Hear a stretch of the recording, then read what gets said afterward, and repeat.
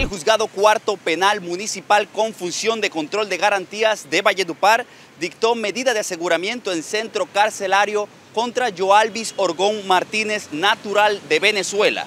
Esta persona es sindicada por la Fiscalía número 8 seccional por los delitos de homicidio agravado, tentativa de homicidio y fabricación, tráfico o porte de arma de fuego. Alias El Beneco estaría vinculado presuntamente con el grupo delictivo denominado Tren de Aragua.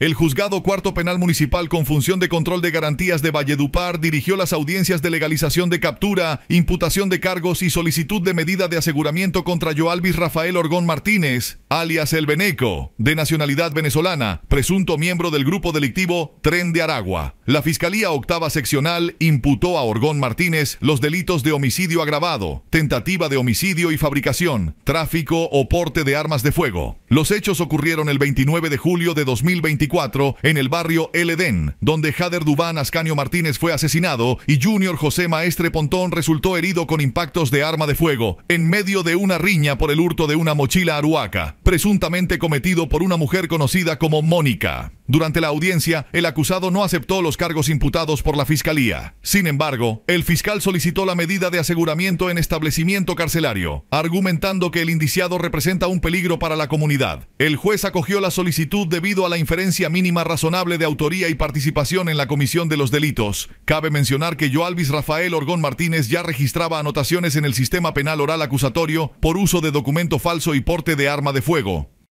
Esto teniendo en cuenta que ocurrieron unos hechos, esta imputación se realiza con respecto a unos hechos donde presuntamente usted es responsable y son los siguientes.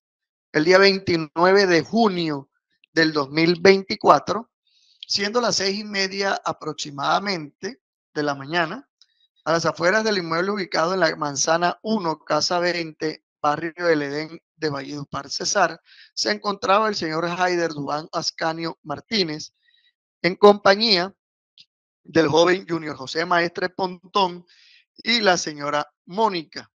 Cuando se genera una fuerte discusión entre estos y usted, señor Urpón Martínez, quien se acerca al lugar solicitando la devolución de una mochila de su propiedad que había sido usurpada previamente por la señora Mónica, obteniendo usted una respuesta negativa por esta persona, motivo por el cual procede a levantarse la camisa y desenfundar un arma de fuego, la cual acciona en repetidas ocasiones contra la humanidad de las personas que se encontraban allí, logrando de esta manera herir con, eh, proyectil de arma de fuego al señor Haider Dubán Ascanio Martínez, quien queda gravemente herido y posteriormente es trasladado hasta el centro asistencial. Consecutivamente, Alvin procede a apuntar y disparar contra Junior José Maestre, quien sale huyendo inmediatamente del lugar de los hechos, logrando así impedir que usted, señor Alvis, le provocara la muerte. Posteriormente, el primero de julio del 2024, al interior de las instalaciones de la unidad pediátrica Simón Bolívar, el señor Ascanio Martínez falleció por la gravedad de las heridas recibidas el día 29 de junio del 2024. Mediante labores investigativas, se logró establecer que la persona que atentó contra la humanidad del señor Ascanio Martínez y asimismo contra Junior José Maestre Pontón fue usted, señor Joalvis Rafael Urpón Martínez.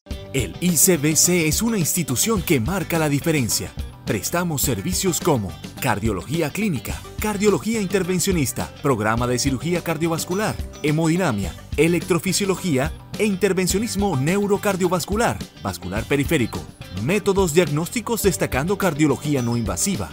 Además, contamos con el servicio de unidad de cuidados intensivos y hospitalización, un equipo humano comprometido en el cuidado y monitoreo de nuestros pacientes, brindando un servicio oportuno según la necesidad.